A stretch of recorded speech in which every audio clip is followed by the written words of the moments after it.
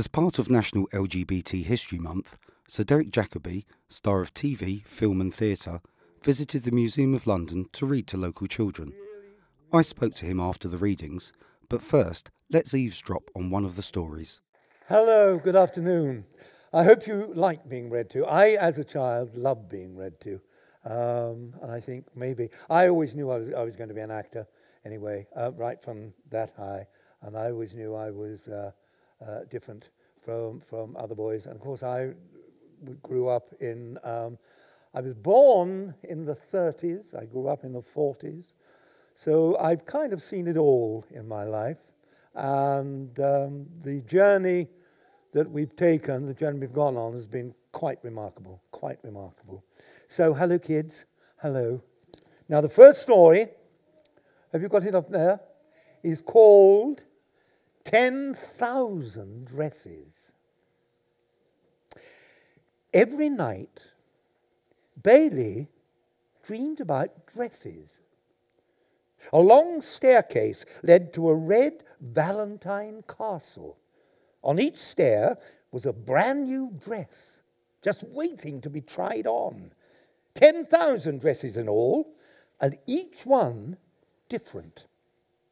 The first dress was made of crystals. When Bailey slipped the dress on, the crystals clinked against each other like millions of tiny bells. And when sunlight hit the dress just right, rainbows jumped out.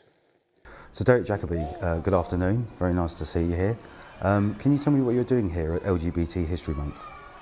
I was asked by um, Sue to um, come and replace, in fact, Ian McKellen, um, who couldn't make it today. So I'm, I'm the understudy today um, to read some um, stories, children's stories to the kids, um, which I've just done and enjoyed it tremendously, tremendously.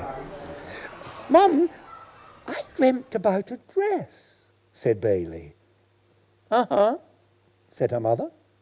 A dress made of crystals that flashed rainbows in the sun.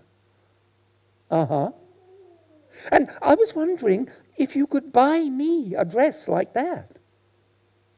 Bailey, what are you talking about? You're a boy. Boys don't wear dresses. But I don't feel like a boy, Bailey said. Well, you are one, Bailey, and that's that. Now go away. And don't mention dresses again. Thinking of my own childhood, um, a child growing up in the, in the 40s and 50s, um, and how you know one did feel, I'm not quite sure who I am or what I am, where I am, um, and now it is so much easier for the children. And the more we talk about it, the more it becomes not a taboo subject, the more it is out there in, in, in the open and talked about and accepted. And um, it's wonderful.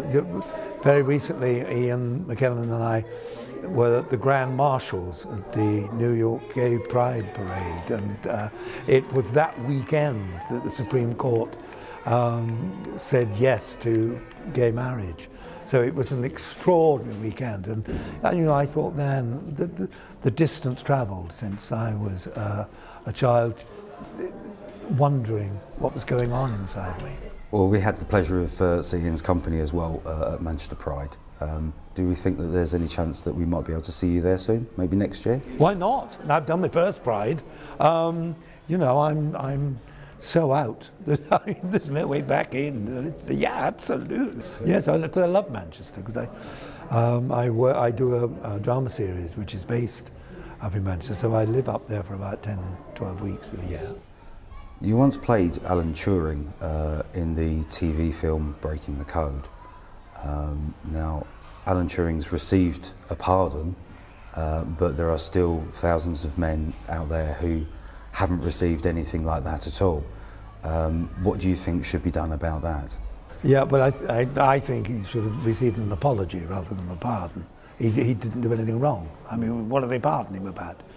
Um, apologise to him for what they did to him. Yes, absolutely. But how, how strange that um, someone like um, Alan, who uh, was had up for gross indecency, uh, was given the choice of a prison sentence or treatment. He chose treatment. And the treatment he chose, which um, they inserted a, um, a capsule of estrogen, a fed estrogen into his system, into his thigh, yeah. that was considered a punishment. That now helps to cure men of prostate cancer.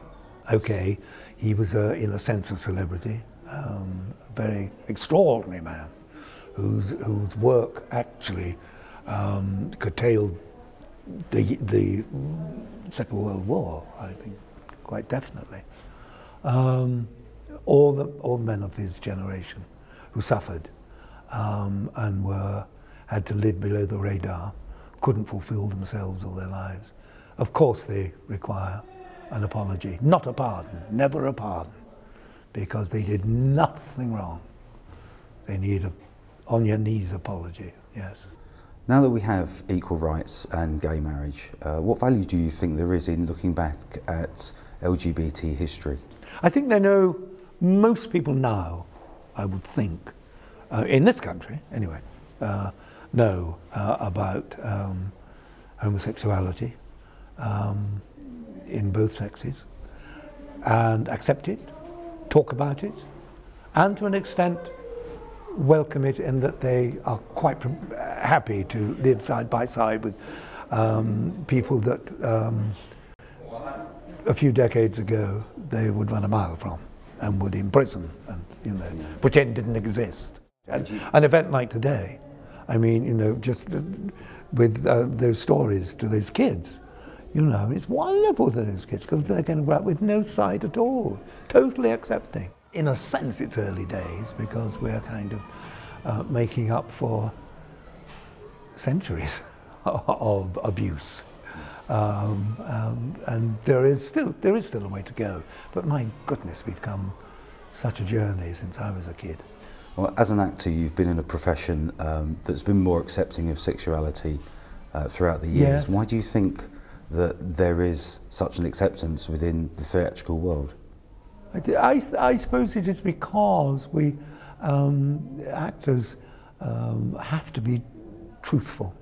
They have to be honest about themselves and about what they're doing. If, if we, we are like um, playing Turing, you know, one fed on aspects of one's own homosexuality. And uh, we have to be open to everything. And uh, because actors are in performing, they are raw nerves and they're acting through and on their emotions, um, there is no desire to hide anything. Um, it, the desire is to present rounded, living, breathing, real human beings in the unreal context of a camera or a stage. But uh, what the audience see, they've got to accept as totally real. Um, and uh, I think that's why actors are so open. Uh, it's a great club to belong to, acting. The fact that I am myself gay doesn't mean that uh, I cannot put my uh, spirit, my heart, my head, my belief into somebody who is straight. I mean, I wouldn't put on big butch walks, and I mean, that's as bad as a, a heterosexual actor trying to camp it up, mm. you know. Um, no, as I say, uh, uh, human beings are rounded, whether they're gay, straight, bi, whatever, they are human beings. Um, and they don't play. Uh, there is no need to play to stereotypes. That's one of the things I think that this, this movement is now uh, getting rid of. We are not stereotypes, we are all things. You and Sir Ian starred in the ITV sitcom Vicious. Um, what made you accept the role and did playing alongside Sir Ian uh, make it easier? Oh, I loved it. Very easy, very easy. Um, you know, I think we were, when we were, I don't know if he's ever told you, when we first asked to do it, um, it's an American writer and uh, and Ian and I share an agency, and uh, we were both phoned up and said, uh, there's this idea. And the original title was Vicious Old Queens. and I rang Ian and I said, "Did they talked to you about Vicious Old Queens?" And we soon came to the conclusion that uh, we wanted to do it, we'd love to do it, but not with that title, because mm-hmm. uh, it really gave us nowhere to go, really. Um, so they decided to cut out Old Queens. And, you know, we've known each other for over 50 years, and uh, we just, uh, we have confidence in each other and trust in each other and, and delight in each other's company. So, you know, if he got more laughs than I, I got, then um, I'll see him out back afterwards. if you could play any gay character in history, uh, what character would you like to play and why? I was asked, um, and I, I didn't accept it because I didn't. I think it was. I thought it was miscasting. Um, because I, I, don't know whether they're still going to do it, but um, a film about Daniel La Rue oh. um, in in the later years. Um, um, and I adored Danny. I knew him well, and uh, he was a great, great performer.